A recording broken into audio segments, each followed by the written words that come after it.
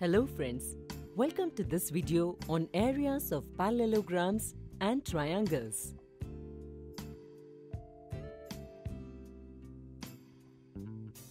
In the previous video, we solved some questions based on the area of parallelograms on the same base and between the same parallel lines.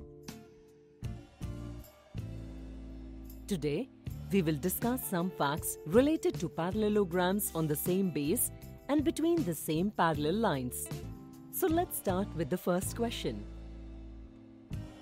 In the given figure, the areas of parallelogram JKLM and rectangle JKON are same.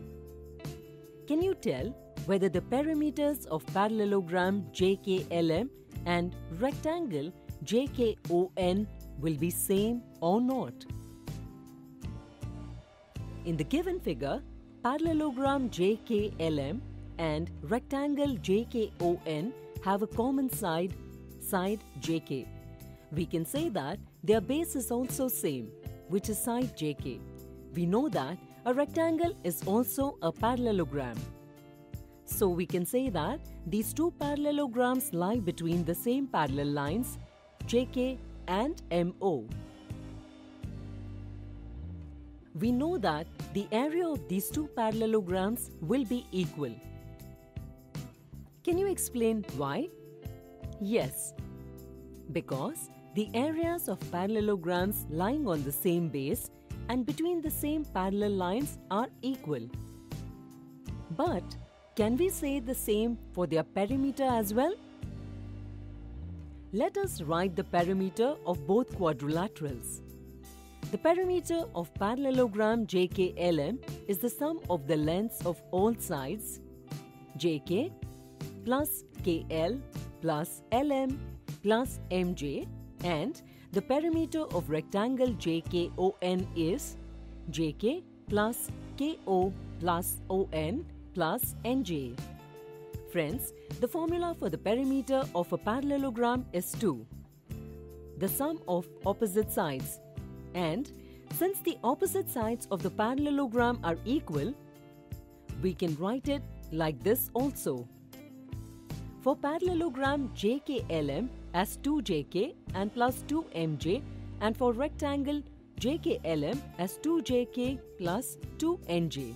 Here, 2jk is common to both sides. Therefore, to compare the perimeter of parallelogram JKLM and rectangle JKON, we have to compare their sides MJ and NJ. We can write it like this.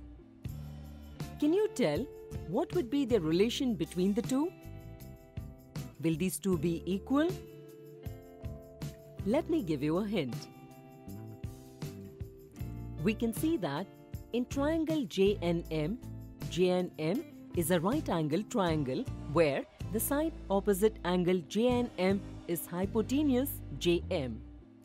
And we know that the hypotenuse is always greater than other sides. Therefore, we can say that side JM will be greater than JN or let's say MJ greater than NJ. Thus, it leads to the conclusion that the perimeter of a parallelogram is greater than the perimeter of a rectangle. Friends, with this, let us end this session. In this session, we discuss some facts based on the area of parallelograms on the same base and between the same parallel lines. See you in the next video. Thank you.